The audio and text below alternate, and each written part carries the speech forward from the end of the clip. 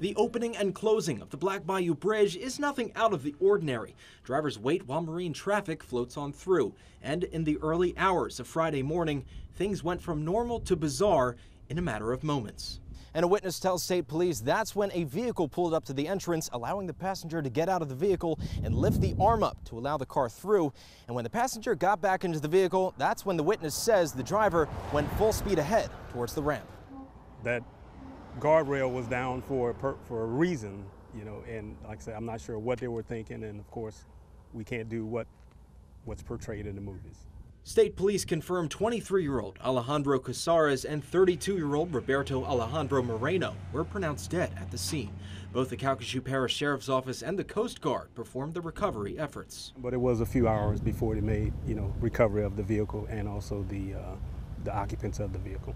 Residents in the area say they couldn't believe this happened.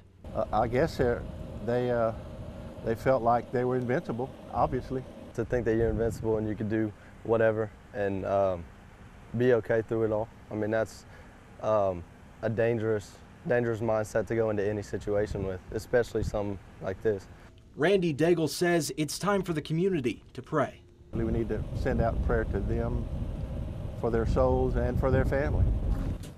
At your service, Luke Birdsall, KPLC 7 News.